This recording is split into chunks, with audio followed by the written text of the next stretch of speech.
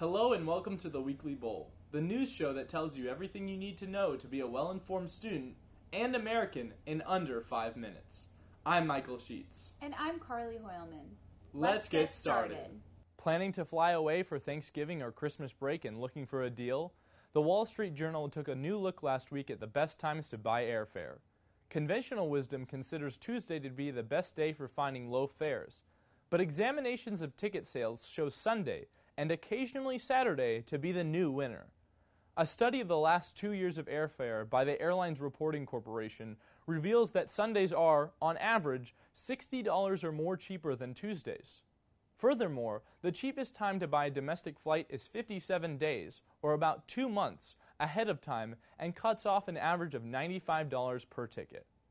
On Saturday, October 18th, thousands of Greek Orthodox parishioners and clergy gathered for the groundbreaking ceremony of the new St. Nicholas Church.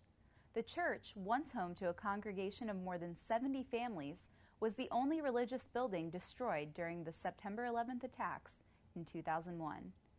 After years of negotiating with city officials, including a four year struggle with the Port Authority of New York and New Jersey, the ceremony served as a sign of progress for the St. Nicholas community. During the event, church officials followed the Old Testament guidelines for laying the cornerstone of a church. The ceremony included scripture readings, hymns honoring St. Nicholas, and prayers for the families of those killed during the attacks. The new St. Nicholas Church is scheduled to open in 2016. For more information about the inspiring project, check out the article by city editor Madison Iszler on EmpireStateTribune.com. Bill de Blasio may not support Central Park horse rides, but he fully endorses celebrating Halloween. For the first time in 12 years, Gracie Mansion, the governor's palace, will be opened on October 28th for the holiday. Children 12 and under, accompanied by an adult, are invited to take a spooky walk through the 200 year old house. Less health conscious than Bloomberg, his soda fighting predecessor, de Blasio will be giving out candy to trick or treaters afterward. Both de Blasio and his wife will also dress up for the festivities.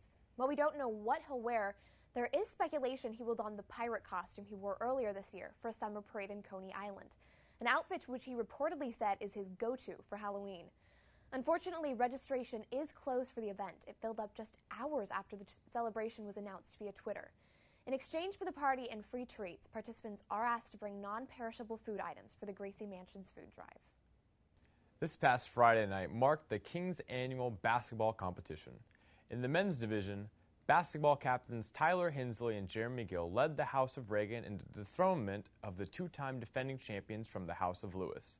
Not to be outdone, the women's final pitted the House of Queen Elizabeth I versus the House of Ten Boom in a thriller in which QE won in triple overtime. You've seen the posts on Facebook, and you've certainly seen the calendars. This week begins the TKC men's and women's basketball seasons. After weeks of preparation, the women's team begins the season October 8th at 11:30, while the men's team begins its season in Tennessee this Friday. In an exclusive interview with men's co-captain Tyler Hinsley, Hinsley said, "This year, the team has a new mentality. We are a family. We are dedicated to each other 100% on the court and how we play, and we are dedicated to each other 100% off the court and how we relate as students and young men and women. And at the end of the day, we have to remind each other of the real motivation. We do it for the calendar. This week in announcements, on November 4th at 7 p.m., Brian Stewart will be hosting an informal night of poetry slam and recitation in the Slozit. On Friday at noon in the City Room, the Phillips Journalism Institute welcomes Nigerian journalist and Guardian Chief Executive Officer Emeka Izeze.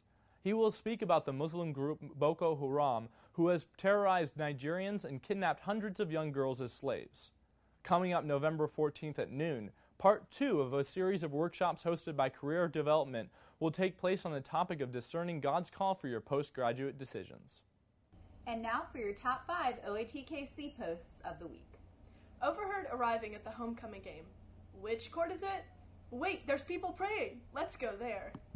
I was Googling on her phone, and the recent web searches came up, and the most recent one was What does smoking weed look like?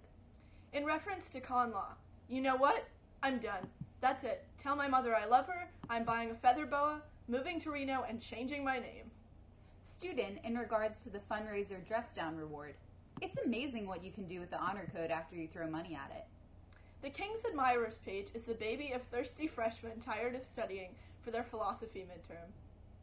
Those are the headlines. Remember to follow the Empire State Tribune on Facebook and Twitter for more top stories. Signing off, I'm Carly Hoilman. And I'm Michael Sheetz. Thanks, Thanks for, for bearing the bowl. That's inappropriate.